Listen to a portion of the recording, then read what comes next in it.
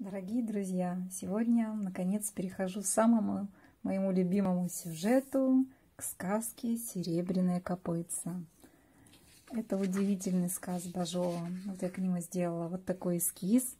И сейчас я буду наклеивать на шкатулку. Это последняя поверхность, которую я еще не вырезала. И после того, как я наклею, приступлю к резьбе по дереву.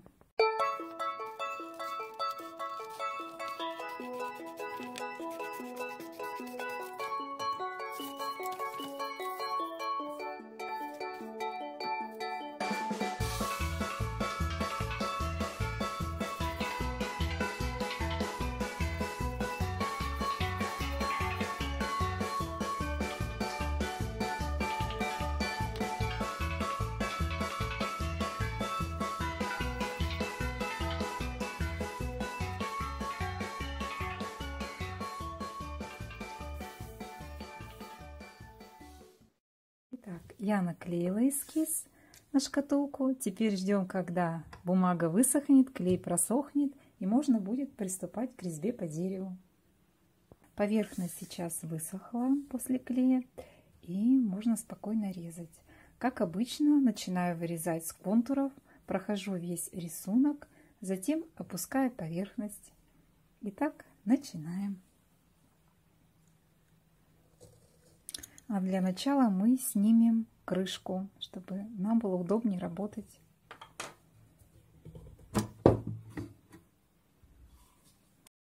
Маленький секретик, чтобы вот эти вот застежки не мешали, я их приклеила на скотч. Видите, они такие большие завесы для шкатулки. И так я спокойно могу продолжать работать. Сегодня я начала последнюю сторону шкатулки, самый свой любимый сказ. Я думаю, во многих семьях любят именно эту сказку «Серебряная копытца». Вспоминаешь свое детство, походы в библиотеку, книги советских художников, которые иллюстрировали как раз эту сказку. Ну и задумываешься, как всегда, о феномене Бажова. Как известно, Бажов э, не раскрывал свои творческие секреты. И знаете, он не особо жаловал литературоведов, которых иронически именовал законниками от литературы. Ну а на постоянные вопросы о природе сказов отделался ну, такими общими ссылками на рабочий фольклор. А в 1943 году известный публицист Заславский писал – Литературная критика ходит и будет вот так вопросительно ходить вокруг бажовского ларчика с сокровищами художественного слова и будет пытаться раскрыть его. Что же это? Фольклор, обработанный замечательным мастером, или самостоятельное художественное творчество, для которого подлинные народные сказки – лишь сырой материал? Какая доля приходится именно на драгоценное сырье фольклора и какая на художественный вымысел? Ну а сам Бажов только улыбается. Догадайся, мол, сам. Существует еще один неразгаданный феномен. Это язык сказов Бажова, который называют простым, разговорным, уральским, ну и часто добавляют, что таким языком разговаривал дед Слышка. Но однако это обманчиво, потому что все-таки этот язык выстраивал профессиональный литератор. Да и сам дед Слышка – это авторское творение, художественный образ, ну, который, конечно, взял в себя отдельные черты из жизни полевского жителя Василия Алексеевича Хмелинина. Ну, конечно, неусловный, нереально существовавший дед Слышка, разумеется, не мог бы э, согласовать столь разнородные ресурсы литературного языка. Конечно, его определяет сам Бажов. Друзья, ну а сейчас я предлагаю всем послушать удивительный сказ «Серебряная копытца» и насладиться, как это делают красиво актеры. Устраивайся поудобнее, мой дорогой друг, и послушай сказку «Серебряная копытца».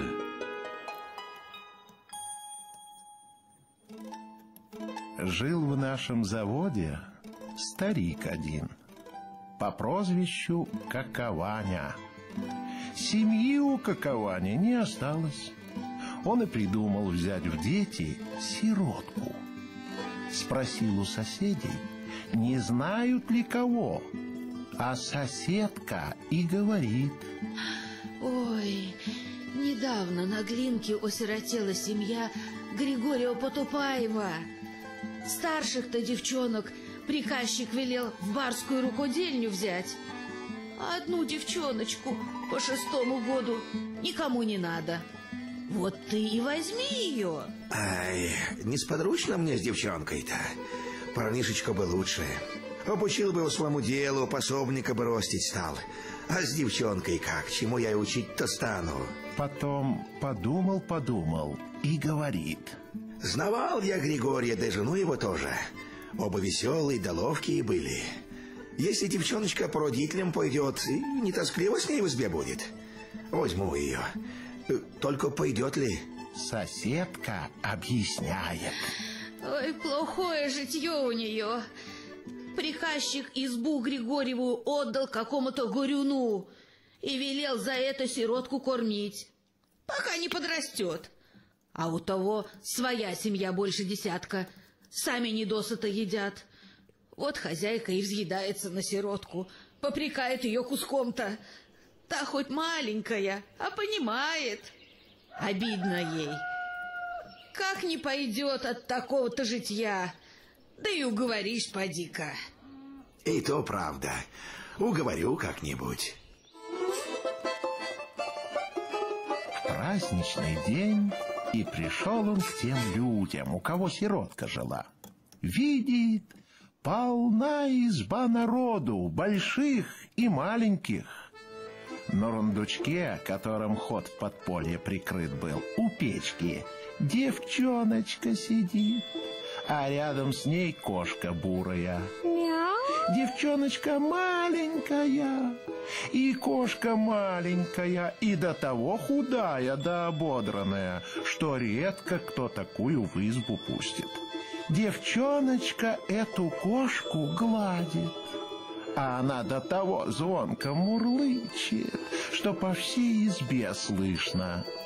Поглядел какованя на девчоночку и спрашивает. Это у вас Григорьева-то подаренка? Хозяйка отвечает. Она самая. Мало одной-то, так еще кошку драную где-то подобрала. Отогнать не можем. Всех моих ребят перецарапала. Да еще и корми ее. Какованя и говорит. Неласковые, видно, твои ребята. У ней вон мурлычет. Потом и спрашивает у сиротки. Ну, как, подаренушка, пойдешь ко мне жить? Девчоночка удивилась. Ты, деда, как узнал, что меня Даренкой зовут? Да так, само вышло. Не думал, не гадал, нечаянно попал. Ты хоть кто? Я-то вроде охотника. Летом пески промываю, золото добываю. А зимой по лесам за козлом бегаю, да все увидеть не могу. Застрелишь его? Нет, Отвечает какованя. простых козлов стреляю, а этого не стану. Мне посмотреть охота, в котором месте он правой передней ножкой топнет.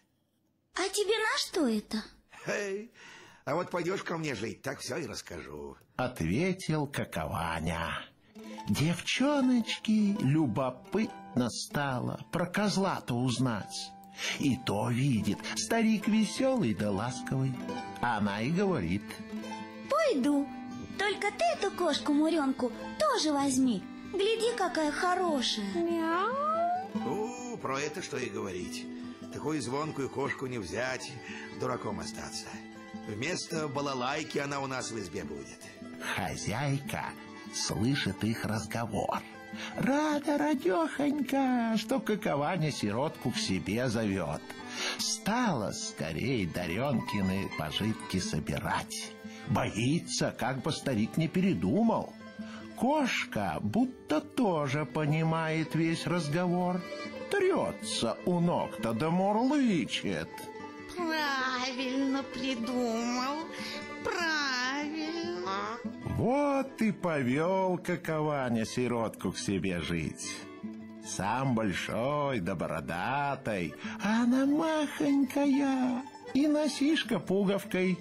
Идут по улице, и кошчонка ободранная за ними попрыгивает. Мяу.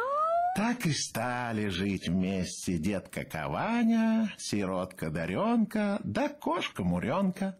Жили, поживали, добра много не наживали, а на житье не плакались. И у всякого дела было. Какованя с утра на работу уходил. Даренка в избе прибирала, похлебку да кашу варила, а кошка Муренка на охот ходила, мышей ловила. К вечеру соберутся и весело. Просто волшебный сказ. А сейчас что-то покажу интересное. Друзья, у меня тут свой заснеженный лес. Видите, какая красота, какие сейчас красивые елочные делают деревья новогодние. Надеюсь, мой лес тоже получится красивым. Сейчас покажу вам, какого я еще красивого оленя. Серебряное копытце купила. Вот как он переливается. М-м, такой красивый. Я его, когда увидела, сразу вспомнила, что мне скоро серебряное копытце вырезать. Как раз такой персонаж был мне нужен на моей новогодней елке. Я каждый год обязательно покупаю какую-то новую игрушку для елочки. Так что моя коллекция пополнилась в этом году. Всех с наступающими праздниками! Пусть у вас будет обязательно новогоднее настроение. Ну а пока будем работать. Старик был мастер сказки сказывать. Даренка любила те сказки слушать, а кошка Муренка лежит да морлычет. Правильно говорит, правильно. Только после всякой сказки Даренка напоминает. Деда, про козла-то скажи, какой он? Какованя отговаривался сперва. Потом и рассказал. Тот козел особенный. У него на правой передней ноге серебряное копытце. В каком месте топнет этим копытцем, о, там и появится дорогой камень. Раз топнет, один камень. Два топнет, два камня. А где ножкой бить станет, там груда дорогих камней. Сказал это, да и не рад стал. С той поры у Даренки только и разговору, что об этом козле. Деда, деда, а он большой? Рассказал ей какованя, что ростом козел не выше стола. Ножки тоненькие, головка легонькая. А Даренка опять спрашивает. Деда, а рожки у него есть? Рожки-то у него отменные. У простых козлов на две веточки, а у него на пять веток. Деда, а кого он ест? Ну, и никого не ест. Травой да листом кормится. Ну, сено тоже зимой в стожках подъедат. Отвечает какованя. Деда, а шерстка у него какая? Летом буренькая, как вот у муренки нашей, а зимой серенькая. Деда, а он душный? Эй, ну, какой же душный. Это домашние козлы такие бывают. А лесной козел, он лесом и пахнет. Стал осенью какованя в лес собираться. Надо было ему поглядеть, в которой стороне козлов больше пасется. Даренка и давай проситься. Возьми меня, деда, с собой. Может, я хоть сдалека того козлика увижу. Эх, Сдалека ты его не разглядишь. У всех козлов осенью рожки есть. Не разберешь, сколько на них веток. Зимой вот другое дело. Простые козлы без роги ходят, а этот серебряный копытце всегда с рожками, хоть летом, хоть зимой. Здесь мы сейчас опустим поверхность и затем нарисуем узор уже на опущенной поверхности, потому что нужно показать глубину. Сдалека признать можно. этим и отговорился. Осталась Даренка дома, а какованя в лес ушел. Дней через пять воротился какованя домой, рассказывает Даренке. Ныне в полдневской стране много козлов пасется. Туда и пойду зимой. А как же зимой-то в лесу ночевать станешь? Спрашивает Даренка. О, так у меня э, зимний шалаш у покосных ложков поставлен. Хороший шалаш с очагом, с окошечком. Хорошо там. Даренка опять спрашивает. А серебряное копытце в той же стороне пасется? О, э, кто же его знает? Может, и он там. Даренка, тут и давай проситься. Возьми меня, деда, с собой. Я в шалаше сидеть буду. Может, серебряное копытце близко подойдет. Я и погляжу. Старик сперва руками замахал. Ой, что ты, что ты? Видно на это дело зимой по лесу маленькой девчонке ходить. На лыжах ведь надо, а ты не умеешь. Угрузнешь в снегу-то, как я с тобой буду? Замерзнешь еще. Только Даренка никак не отстает. Возьми, деда. На лыжах-то я маленько умею. Какованя отговаривал, отговаривал. Потом и подумал про себя. Эх, сводить разве? Раз побывает, в другой не запросится. Вот он и говорит. Ну, ладно, возьму. Только чур в лесу не реветь и домой до времени не проситься. Как зима в полную силу вошла, стали они в лес собираться. Уложил какованя на ручные санки сухарей два мешка, припас охотничий и другое, что ему надо. Даренка тоже узелок себе навязала. Лоскуточка взяла кукле платье шить, ниток клубок, иголку, да еще веревку. Нельзя ли этой веревкой серебряное копытце поймать? Думает Дарья. Жаль Даренке кошку свою оставлять. Да что поделаешь? Гладит кошку на прощание, разговаривает с ней. Мы, Муренка, с дедом в лес пойдем, а ты дома сиди, мышей лови. Как увидим серебряное копытце, так и воротимся. Я тебе тогда все расскажу. Кошка лукаво посматривает, а сама мурлычет. Правильно придумала. Правильно. Пошли какованя с Даренкой. Все соседи дивуются. Ой, из ума выжился старик. Такую маленькую девчонку в лес зимой повел. Как стали какованя с Даренкой из завода выходить, слышал собачонки, что сильно забеспокоились. Такой лай да виск подняли, будто зверя на улице увидали. Оглянулись, а эта Муренка серединой улицы бежит, от собак отбивается. Муренка к той поре поправилась. Большая да здоровья стала. Собачонки к ней подступиться не смеют. Хотела Даренка кошку поймать, да домой унести. Только где тебе? Добежала Муренка до лесу, да и на сосну. Поди, поймай. Покричала Даренка, не могла кошку приманить. Что делать? Пошли дальше. Глядят, Муренка стороной бежит. Так и до шалаша добрались. Вот и стало их в шалаше трое. Даренка хвалится. Веселее так-то. Какованя поддакивает. Известно, веселее. А кошка Муренка свернулась клубочком у печки и звонко мурлычет. Правильно говоришь. Правильно, Мурка.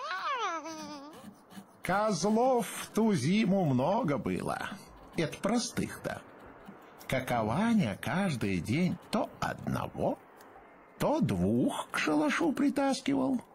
Шкурок у них накопилось, козлиного мяса насолили, на ручных санках не увести. Надо бы в завод за лошадью сходить. Да как Даренку с кошкой в лесу оставить? А Даренка попривыкла к лесу-то. Сама говорит старику.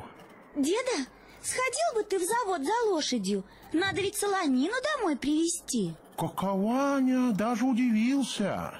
Эй, какая ты у меня разумница, Дарья Григорьевна, как большая рассудила. Только забоись, поди одна-то. Чего бояться? Шалаш у нас крепкий, волкам не добиться. И Муренка со мной, не забоюсь. А ты поскорей ворочайся все-таки. Отвечает Дарья. Ушел какованя. Осталась Даренка с Муренкой.